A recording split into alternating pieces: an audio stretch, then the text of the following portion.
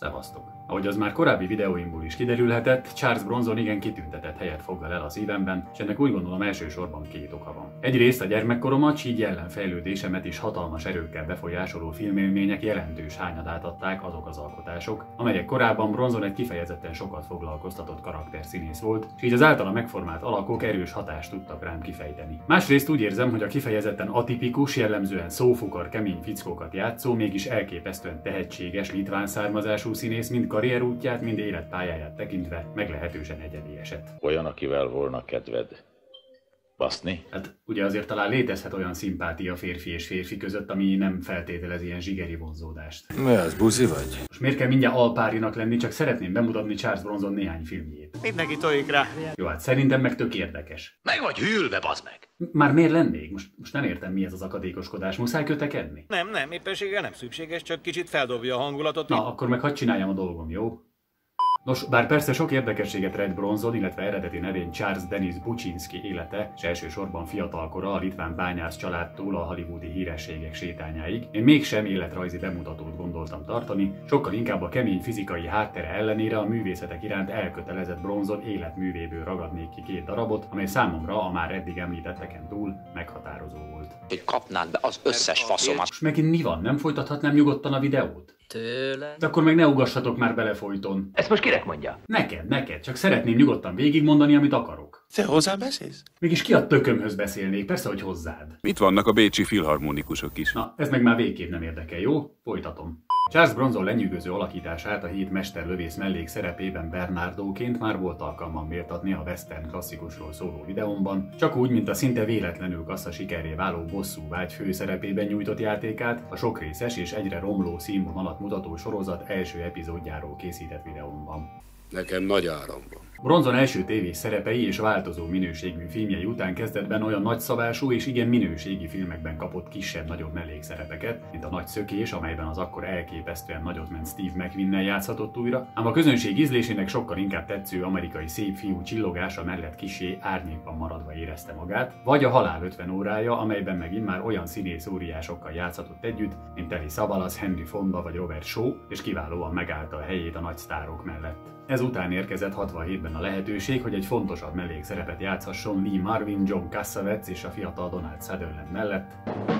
Vladislav, T. Fényképezte Edward. Scafey. Nézzük hát a piszkos 12-t.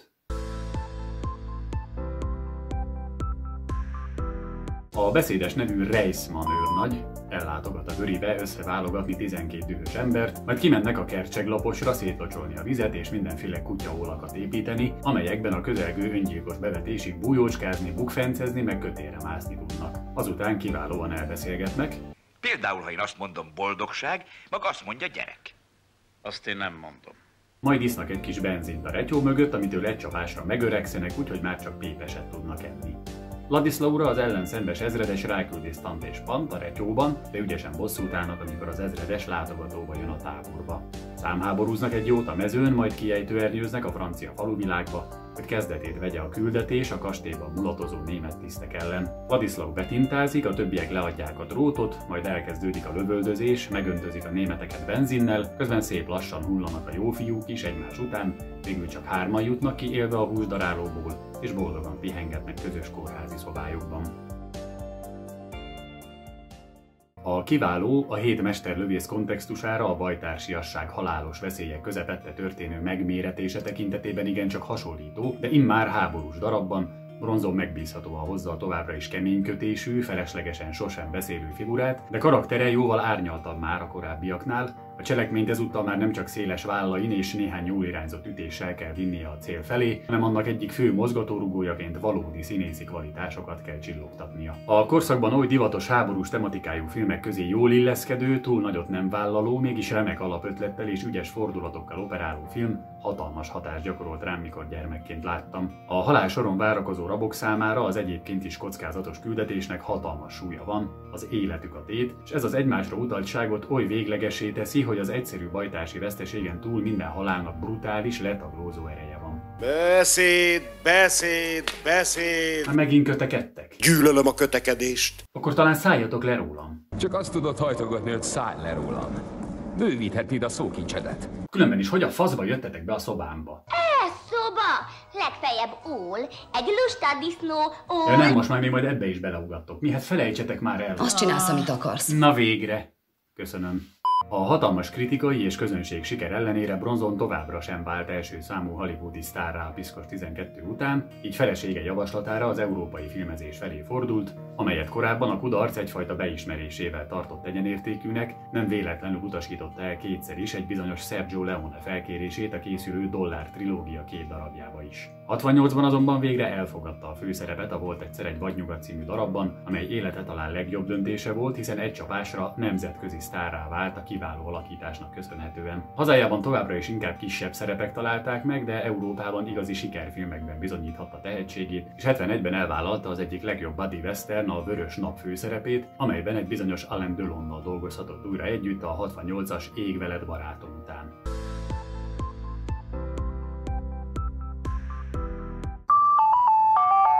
A rácke vére tartó sebesvonaton azonnal pisztolyt fognak a blitzelőkre, de végül a kalauzt is helyre teszik és elindul a rablós mutatvány. Én és a barátaim előadunk itt egy kis vadnyugati sót.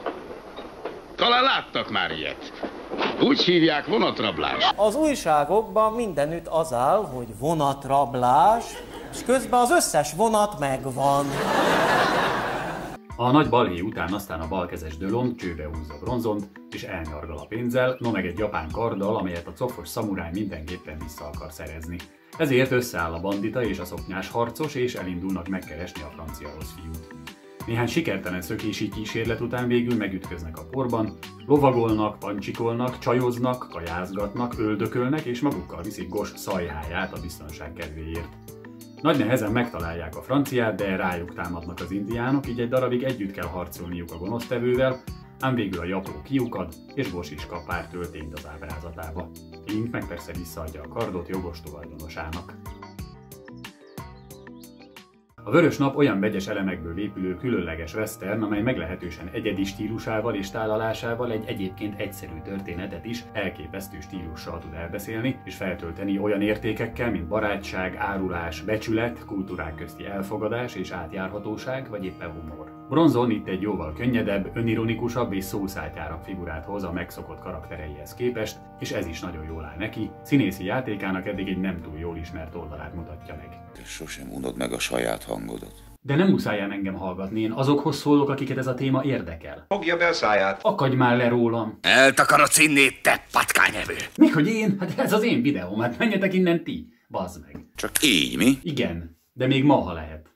Bronzon számára végül az általam már korábban bemutatott 74-es bosszúvágy hozta el az igazi világsztár státuszt, és egy rövid tündöklő szakasz után pályája a lassú lejtmenetbe fordult. A 81-es Vadászat életre halára című filmjét tekintem karrierje egyfajta lezárásának, amelyben újra együtt játszhatott Lee Marvinnal, és amely után egyre alacsonyabb minőségű, direkt VHS-re készülő filmekben, végül pedig kifejezetten gagyikban játszott egészen 2003-ban bekövetkezett haláláig. Charles Bronson egy különleges életutat és pályaívet magáénak tudó színész volt, aki hosszú karrierje során meglepően kevésszer alakított olyan szerepet, amelyben tehetségét ténylegesen megmutathatta volna, de az igazán jól sikerült filmjei egyértelműen bizonyságul szolgálnak egy nagy formátumú színész művészetére vonatkozóan. Persze nem volna teljes a kép, ha kifejezetten pocsék filmjeiről nem ejtenék szót, mert ezekből is van ám nem kevés, elég csak amíg pályája elején forgatott a Világ Ura című Retex kifire, Sentenced to terrifying punishment.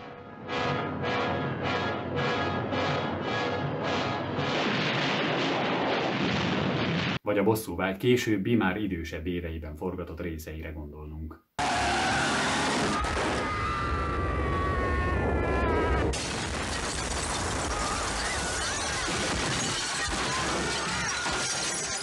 Még